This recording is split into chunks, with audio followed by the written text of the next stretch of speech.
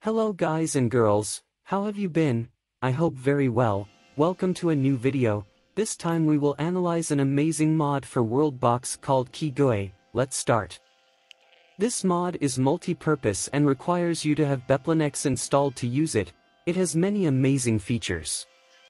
You will notice that you are installed because in the left corner of the PC screen you will notice a button to access it.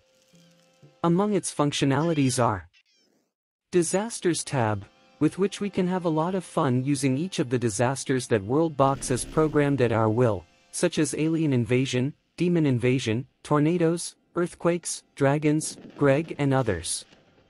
Race modifier, with this we can modify all the races in the game, changing characteristics such as health, armor, attack damage, or even exterminating the entire race.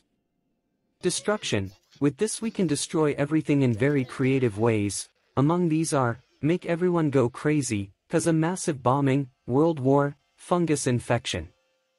Cleaning, we can automatically eliminate several biomes or diseases. Cultures, we can change the knowledge of these, eliminate them or change their city. Plots, we will be able to manually use the plots such as war, rebellion, alliances and others.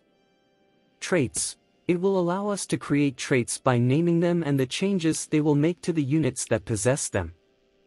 And finally game configuration, that will allow you to modify some aspects of it. And well that's all, thank you very much for watching the video, until next time.